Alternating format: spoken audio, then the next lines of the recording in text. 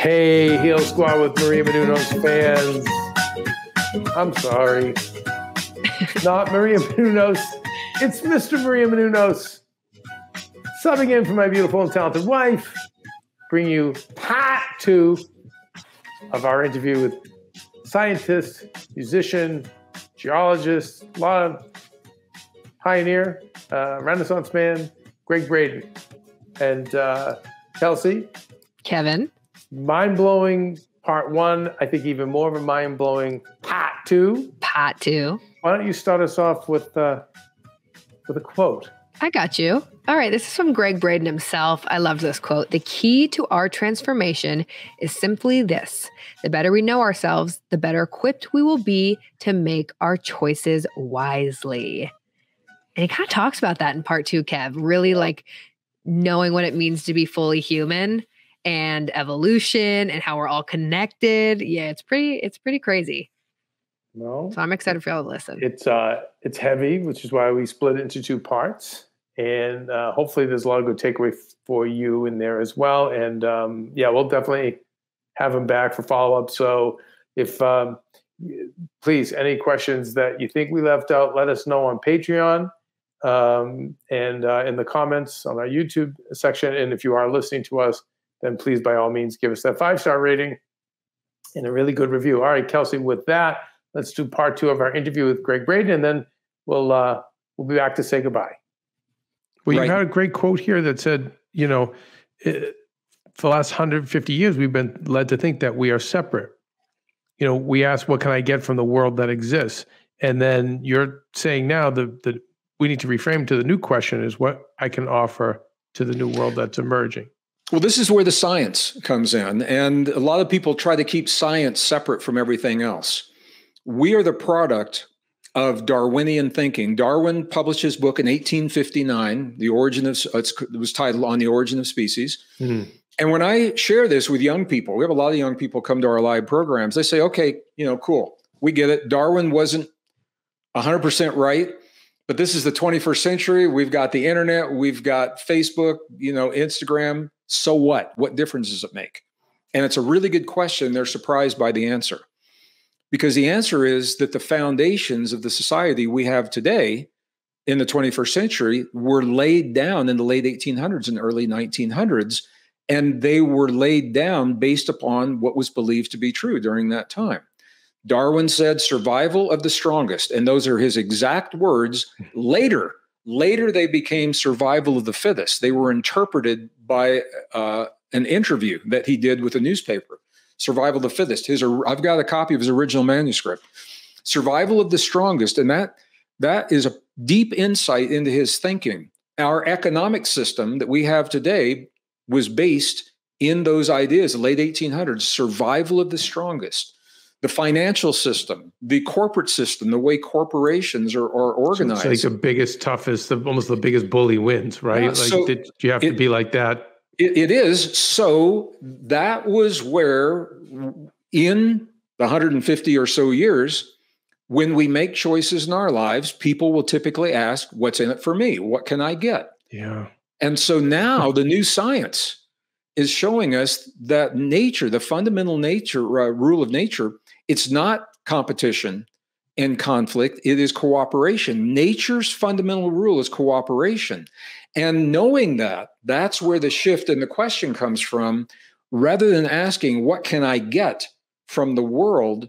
When we ask, What can I give? What can I share? What can I contribute? That is a paradigm shift in the mind that begins to, it triggers us to think differently.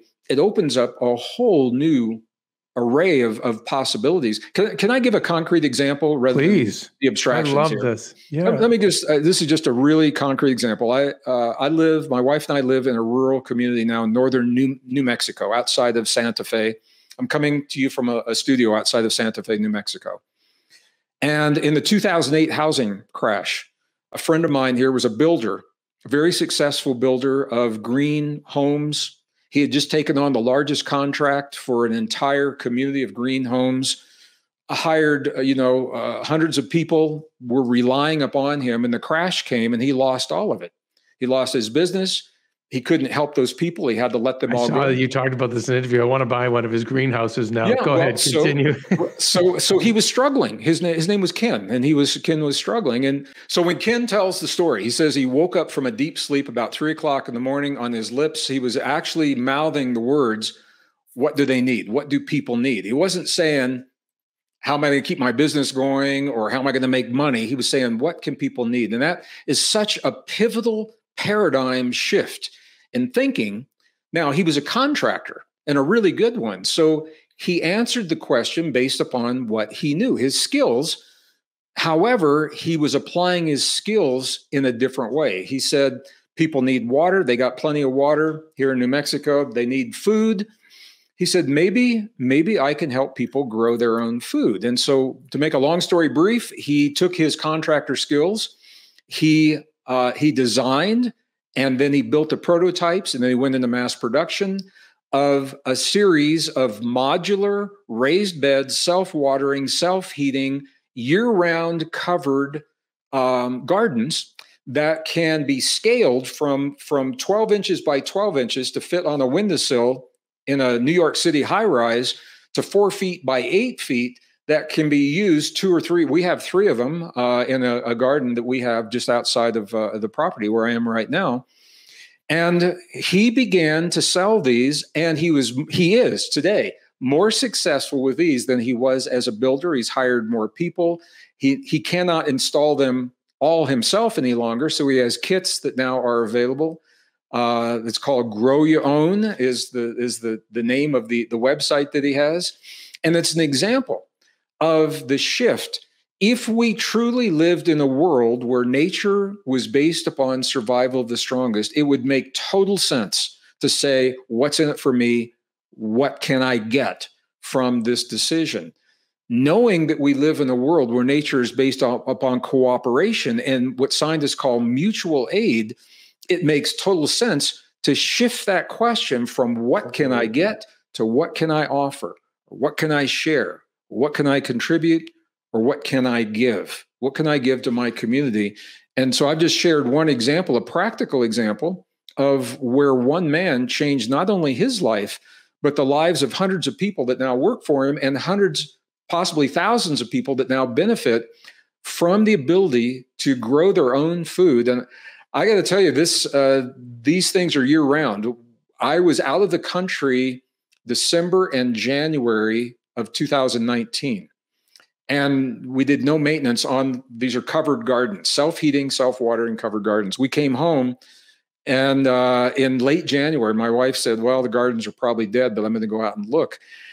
They were so alive that the the plants were pushing up against the covers sorrel lettuce and i mean all kinds of lettuce and string beans and they had grown all through the broccoli they'd grown all through the, the wow. cold weather so Ken has now helped a lot of people to take care of themselves in a really, really responsible way. And, and we all know the the power behind organic vegetables, and sure. I think it's going to get back to farming. Um, you know, it, you mentioned evolution before, and I and, uh, talking about Darwin and how so much was based on Darwin, but then so much has been based on the theory of evolution.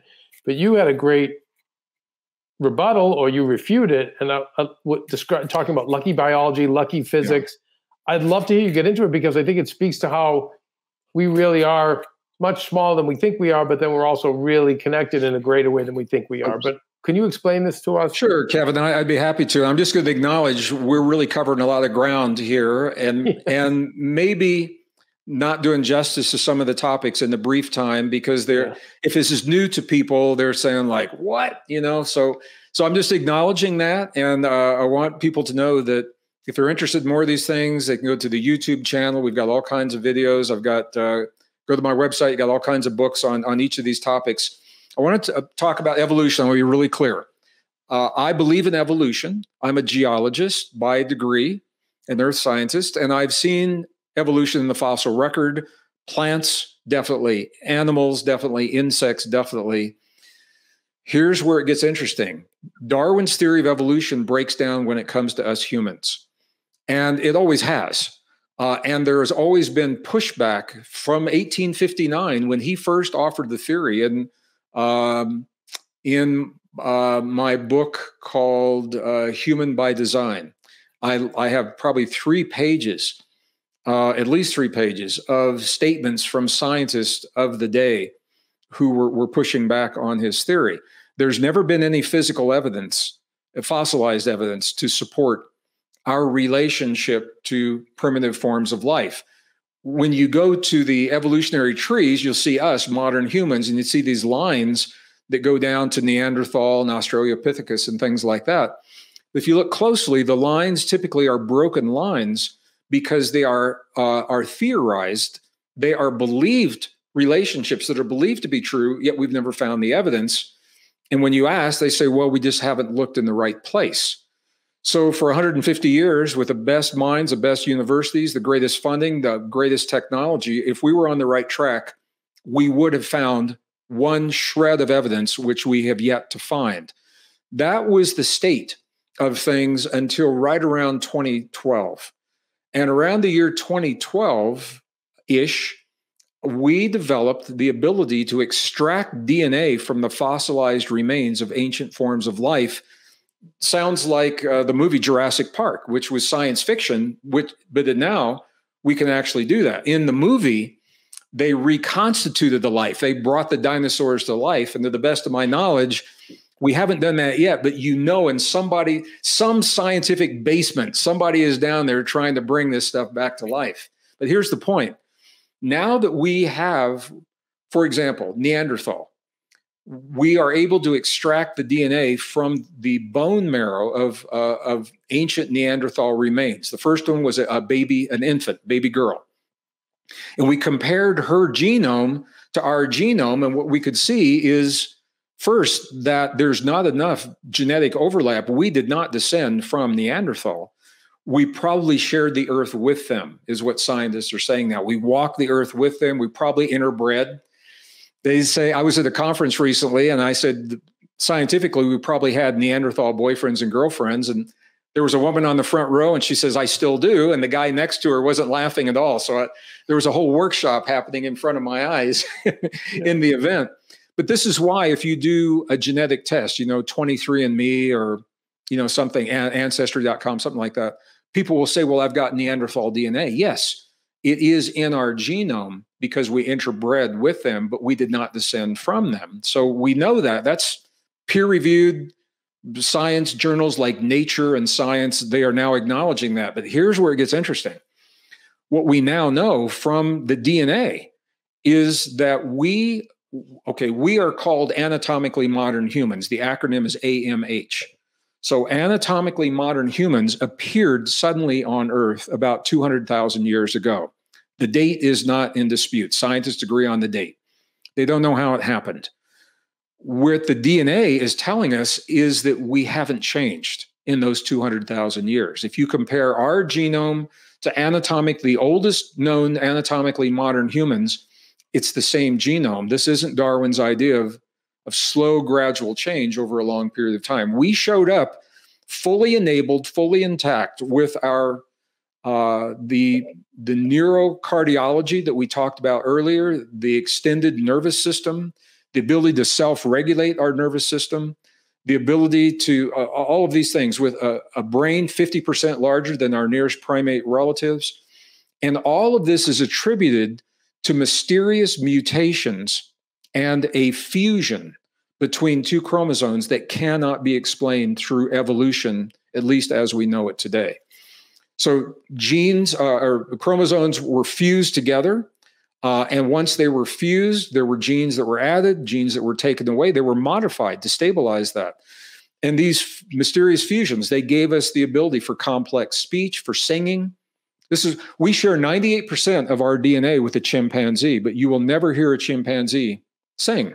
You'll never hear, this is my question. Why can't a chimpanzee sing Led Zeppelin's Stairway to Heaven? I'm a musician when I'm not doing this and and you won't hear it even though we share 98% of our DNA.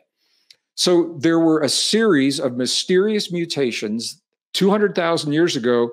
They didn't happen slowly, gradually over a long period of time.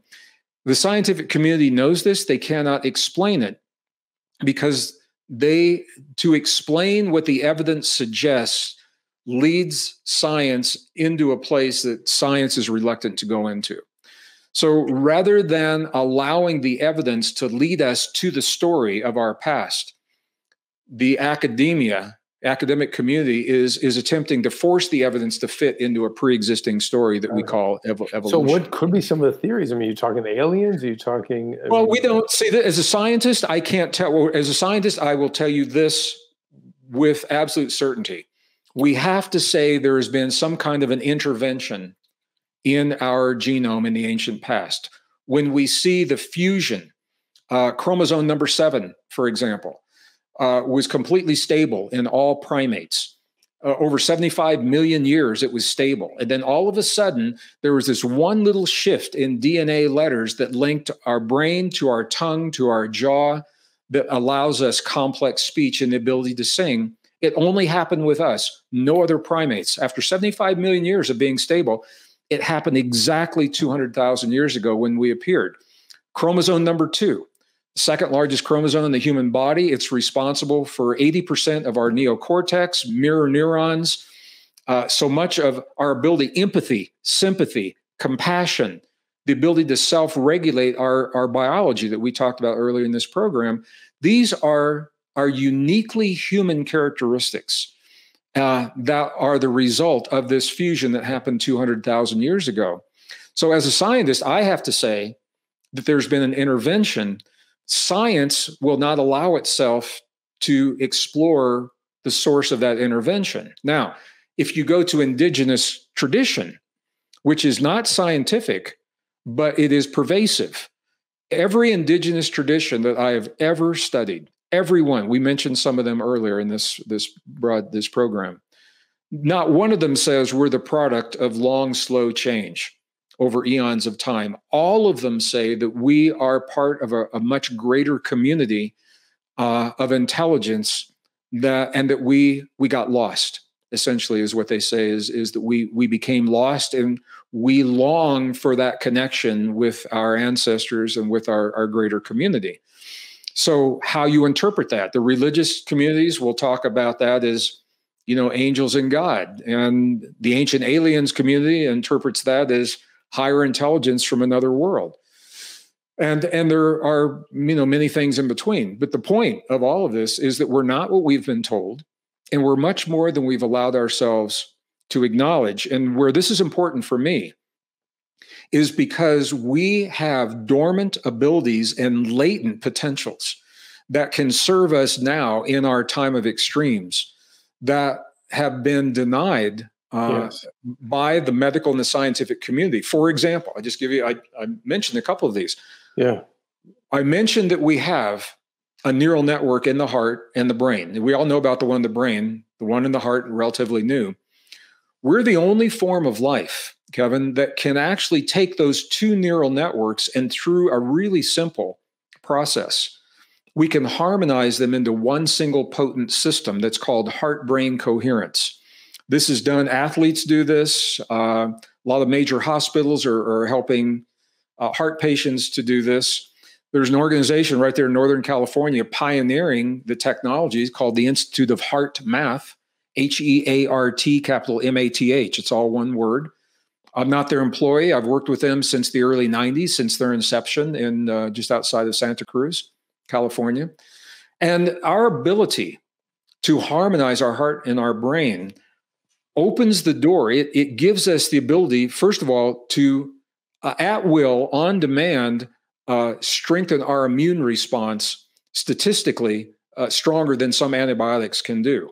So, at will, on demand, we can create a stronger immune response. Who doesn't want that? You know, in an age of, of the pandemic, uh, we trigger longevity enzymes and anti-aging enzymes. I've used this technique uh, since I discovered it in 1991, 92, at least once a day. And it has many different applications. The coherence will create resilience to change in our lives, and it reduces stress at the cellular level in our lives. It awakens deep states of intuition. Uh, very, uh, I mean, super memory, super cognition, super recall, all kinds of potentials are available to us through these techniques that have been with us for 200,000 years. Right. We are we are wired. We are wired for extraordinary potentials, but now our society and academia and science tell us that we are powerless, frail victims. Right. And that we need technology, and then we just Well, lean on technology. This is this is this is right where I'm going with this. Right. If you are a victim, you need a savior, and technology is being touted as our savior. Now there's a movement, a very powerful movement, and policies are being written and laws are being enacted to replace elements of our natural biology that we still don't fully understand. To replace that with artificial polymers, with chemicals in the blood, with computer chips in the brain, with sensors under the skin. And the reason that I am very passionate about this is because we're being told that we need something outside of ourselves to be healthy in our bodies and to be successful in life. And when we, uh, in mass, not talking about well, one off, but in mass, when we as a society, if we choose to embrace these technologies, our natural abilities begin to atrophy. We begin, our body believes that it is no longer needed to produce the immune response or to produce the, the kinds of neurons in the brain because a chip is doing it for us or a chemical is doing it for us. This is how you lose a species. And this is exactly the pushback that we're seeing right now. There is a movement that wants to keep us feeling powerless, keep us feeling that we need something outside of our bodies because others benefit from that. So my passion right now, I'm saying, I'm not saying don't do it, but I'm saying at least before we give our humanness away to the technology, let's discover what it is we're giving away. Who are we? And what does it mean to be fully human? And my sense is once we answer those questions for ourselves, we will feel less of an urgency to embrace the technology and less of a need to to bring that technology into our lives. The movement, I know many people are familiar, it's called the transhuman movement, is the, the movement that began in the early 20th century, the thinking, but it didn't have a lot of teeth to it until recently. And now that we have the technology to implement that thinking, and that technology is being embraced by industry, by technology, uh, by governmental organizations. Some of them are non governmental organizations. So I, I just think we owe it to ourselves to be honest. How can we solve the problems if we're not honest about the problems? We are this rare, precious species uh, with a mysterious past. And I'm not saying we don't have to understand the past to benefit from what that past has given to us, but I believe that we owe it to ourselves to maybe for the first time in a long time to embrace what it means to be fully human and to apply that in our lives to become the best version of ourselves and create the best world possible and that that's where we're going with And this. Gregg, can we fi- can we finish off by talking Yeah. about how the uni- you believe the universe, and I agree with you, is alive and conscious Sure, in and of itself? Because then that gives us more. sure. I don't know. It should inspire us more to know that we need to serve and we need to work together because we are all connected. Yeah, there's you know there is a an, an effort. Well, I think you all know you and, and our community. There's a there's a battle. We're we're involved in the battle. There's a battle for our thoughts. That certainly is obvious through the media, the in- kinds of information we're inundated with. There's a battle for our beliefs, what we believe about ourselves, who we are, where we come from, uh, where the universe came from. There's a battle for our very humanness, and that's what I'm talking about. Replacing us with synthetics and technology. The thinking that makes that battle possible is that we are conditioned to believe what's called the standard model. And there's a fight to hang on to the standard model. The standard model says that we're the product of a dead universe. The universe began with this primal release of energy, an inert explosion uh, through amazingly lucky physics we happen to be on just the right planet, just the right size, just the right sun, just the right distance from the sun. Big Bang the right- Theory, the whole thing. Oh right? yeah, yeah, Yeah. That, that whole thing. Well, what the new science is showing is that the universe appears to be alive, intelligent, and conscious. And they first began, it was the Hubble Space Telescope that started sending back some of these images, and now the uh-huh. James Webb has superseded that. For example, they've seen now entire galaxies when they are threatened with something like, uh, you know, a, an energetic pulse from a, a star that's going to hurt that galaxy. The galaxy will actually create a jet from the center of the galaxy that will propel it. It will move it out of harm's way from that that pulse that's coming through. And they found one of these. They said, well, maybe it's a one-off. And now, if you you can go to the NASA website, you can see image after image of of galaxies that are consciously shifting their position to avoid incoming incoming threats that, that could hurt or, or destroy you know the galaxy itself so we also know that there's a field of energy that underlies and connects everything through what is now called entanglement. So we've gone from thinking the universe is dead. Now we, and I'm not saying all physicists are on board with this. This is just where the evidence is is leading. So we live in a universe that's alive, it's conscious, it's intelligent, and now we've gone from thinking of us as the product of lucky biology and random mutations that just happen to occur in just the right way at just the right time to recognizing that there appears to be some kind of an intelligent intervention underlying our existence. Who or what that is, is that's where the debate is. That's the controversy. And it depends on what lens you want to look at it through. You've got to think beyond religion, you've got to think beyond science because there's something bigger where both of these come together. And I think, again, we owe it to ourselves to honor 5,000 years of, of human history, oral traditions. What did they know that we've forgotten? Or what did they know that we've never understood? And to honor the best science of the modern world. But science is only 300 years old, it's new, it's a new way of thinking. So when we weave these together, we give ourselves the evolutionary edge so that we can transcend our time of extremes in a way that other civilizations where they may have failed.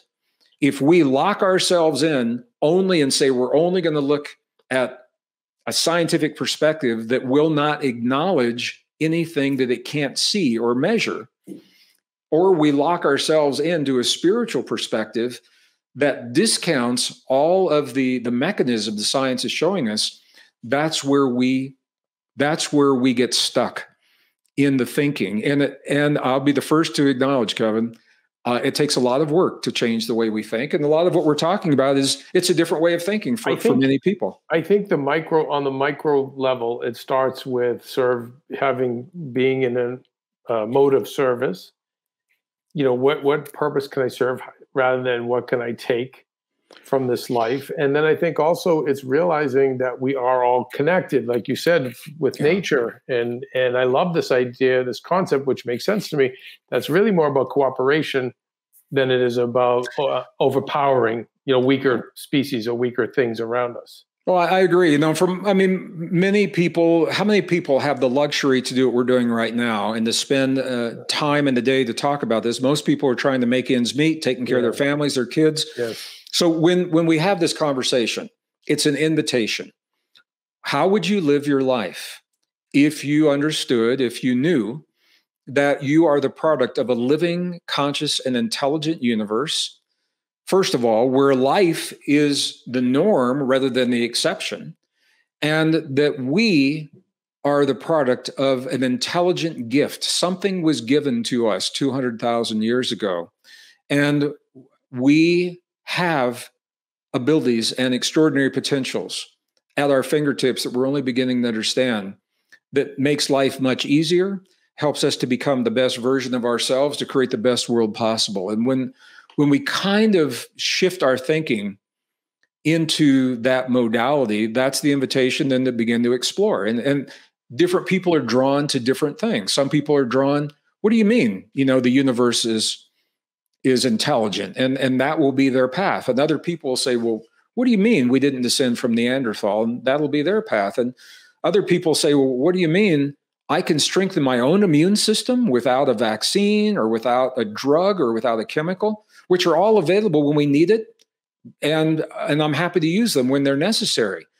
But they discount our own natural abilities and we stand to lose those abilities if we don't use them that's this is the you hear this in biology a lot use it or lose it So we, uh, I believe, we owe it to ourselves. We lose it, and then we lose the species, like you said, because well, we how, we become. If, if AI comes in, how is what the way it's coming? How can it not take over? How can well, this is this, this is the whole Kevin. This this is the whole point. The transhuman movement proposes by the year twenty. This is Ray Kurzweil, uh, director of uh, technology at Google, who is openly stating by the year 2035, we will not see pure human any longer. We will be a hybrid of technology, computer chips, sensors, and artificial intelligence.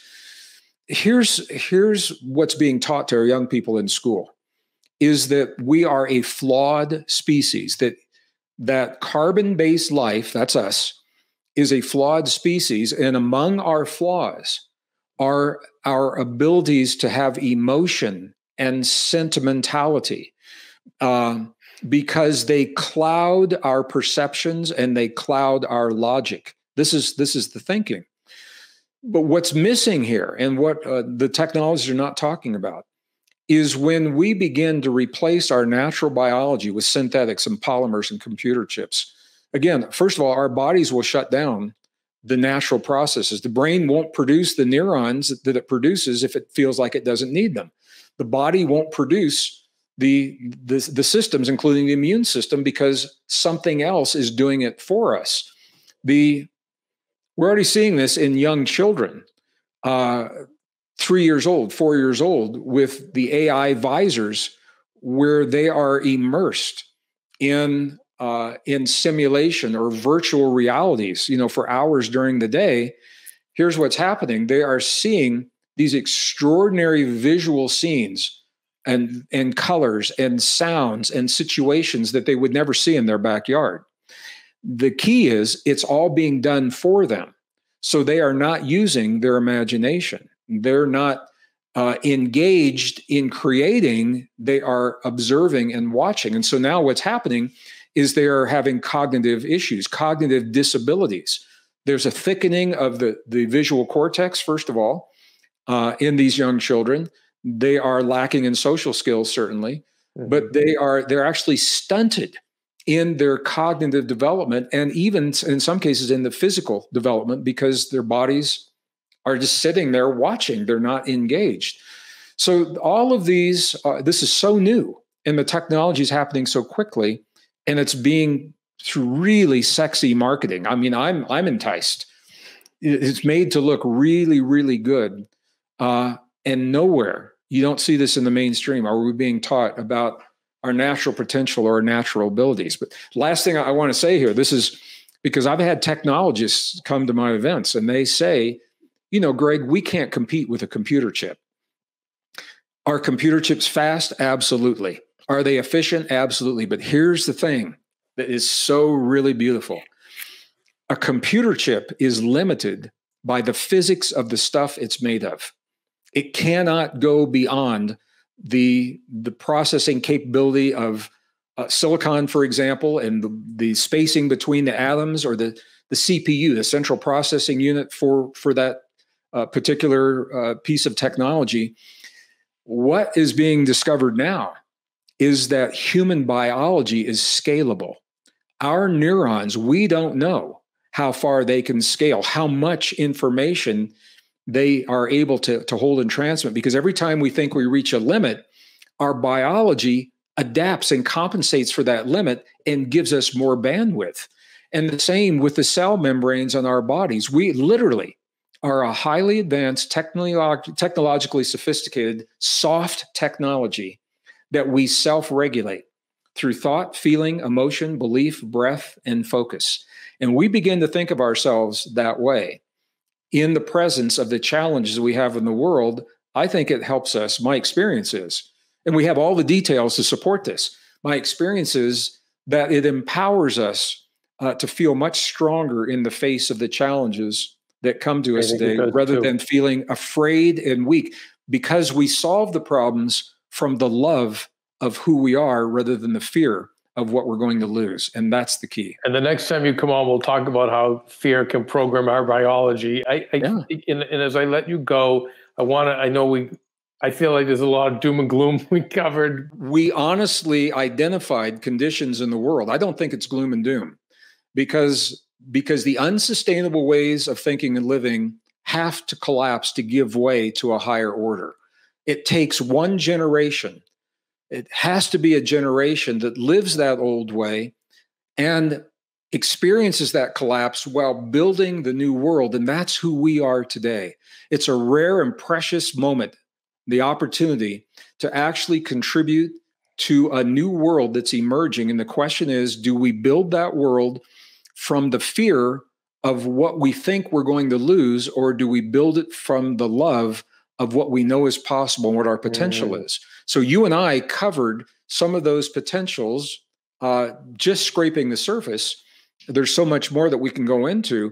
But for me, the, the good news is we're made for this. We're wired for this. This is why we're here. And if you're here in this world right now, it has to be to bridge these two ways of knowing. I can't think of a more exciting time. I can't think of a better a better way to spend our day than exploring what this means yeah. and uh, to opening the door to a deep appreciation for what it means to be human and who we are as a family and as a community. So I, I want to thank of, Yeah, move out of love over fear. I like yeah. that. I like that a lot. Well, this was amazing, Gregg. Go do your things. We're going to promote you on our post show and in our intro. But thank you so much, and we'll, we'll definitely have to keep keep this conversation going. Kevin, I look forward to our next. I know we had some tech issues. I think we we manned through those pretty well, oh, and it's a, a, pleasure to work with you. We'll thank you, my dear friend, and I want to just thank our community for all you're doing thank to be you. the best version of yourself. I look forward to our next. Me too. Thanks, Gregg. Okay, Kelsey. So uh, I need to take there. I need to take a lap and then come back and re-listen to it. There's a like that was a lot. Yeah. I mean, I feel yeah. Listen, I I usually do err on the side of positive, but um mm. yeah, I don't know. I don't see a lot. I just don't the way it's going, I just think uh whatever reason human beings are here, we've had a phenomenal run. Mm-hmm. I say men were like the New England Patriots, had a great run. White men in general, great run. It's over. Now I'm starting to think maybe human beings are the New England Patriots. Phenomenal run on the planet for 200,000 years, but I don't know. I think with, I think, but by saying that, right, maybe we can awaken people to a greater consciousness, to know we are connected, to know that uh, we're connected to our fellow person out there, um, whether we get along with them or not, whether we agree with them or we don't, um, and that we really do need to shift our brains more to serving rather than being served. And uh, so hopefully, you know, this motivates everyone to do that because I think that that ultimately can can can can save us. Yeah, but if not, phenomenal run. Great. if run. not, we had a we had a we had a lot of fun. Kelsey, I would I got a longer run than you, but you had a pretty good run too. Come I did. I did. Great you know college what? life, sorority. Yeah. Come on. I mean, 29 years. It's a good run. But I do have to say, it made me think like I it's just my nature now. I go to my Instagram, I go to my TikTok, I go to whatever, and understanding like his line about being fully human and you know you want you're not going to give your give yourself away to the technology when you fully embrace being human. I was like, hmm, that's going to make me think now. Gregg's going to be in the back of my head when I just yeah. you know and maybe not pop on there. Maybe when you have sons, daughters, nieces, and nephews, you don't slap a VR mask on them at two or three. Yeah right? I mean, yeah. I, you know, we didn't. He cut me off because he had some, he's got a big media day, and I understand. But I want you guys to Google affirmative prayer mm. Because it's something that he does talk about and he yeah, does preach. But no, no, affirmative prayer. Mm. It's a different right, kind of prayer. And I think it's praying, and again, ties into Joe Dispenza and all the other things. And again, I please look it up as I'm going off no sleep and looking at tons of research really fast as the backup quarterback who's out of shape, sitting on the sidelines with his headset and his clipboard, not ready to be called into action. So forgive me, I'm trying to get back in game shape here. That being said, his affirmative prayer, it's something in effect uh, rather than praying for something to happen, it's it's it's praying in a way where you're giving gratitude that it already did happen. I think, but give it a look. And he he talks about a fifth mode of prayer. And the only reason I say I wanted to end the interview with that is because I did want to give you hope and for what you can do. Yes, by serving, knowing we're all connected, that's going to help. But then what do you do internally for you? So give affirmative prayer a Google, and then um, yeah, maybe we'll have him back and just do a show based on that. I, you know what? He'd be a good Monday uh, motivation intention. Simply on the first, you know what, Kelsey, have him come back if he will, and simply focus ten minutes on affirmative prayer. Okay, I, I think there'll be a really powerful um, Monday uh, motivation intention. And uh, if you don't know about that show, it's available on Apple Podcasts. It's on a separate feed. Monday motivations and intentions. They're anywhere from two to ten minutes, and um, we have experts from all over give you um, some great practices that you can do on your Mondays uh, to get you make your week, your day better, your week better, your month better, hopefully your life better. So anyway, all right. Well, Kelsey, that's that. That's um, that. I'm going to try and process all of this. Me too. You did a great job, though, Kev. Uh, we did all right. All we have to, what, what do I have to say, Kelsey? Just all we got to do is keep the team alive, keep our playoff hopes alive. Which I just have to go 500. That's all. Just have That's to it. just have to win as many as I lose, and hold us in until Brady comes back. Um, all right, Kelsey, what do you all say on this show? We say be nice people, make good choices, and be present. This podcast and all related content published or distributed by or on behalf of Maria Menounos or mariamenounos.com is for informational purposes only and may include information that is general in nature and that is not specific to you. Any information or opinions expressed or contained herein are not intended to serve as or replace medical advice, nor to diagnose, prescribe, or treat any disease, condition, illness, or injury, and you should consult the healthcare professional of your choice regarding all matters concerning your health, including before beginning any exercise, weight loss, or healthcare program. If you have or suspect you may have a healthcare emergency, please contact a qualified healthcare professional for treatment. Any information or opinions provided by a guest expert or host featured within website or on company's podcast are their own, not those of Maria Menounos or the company. Accordingly, Maria Menounos and the company cannot be responsible for any results or consequences or actions you may take based on information or opinions.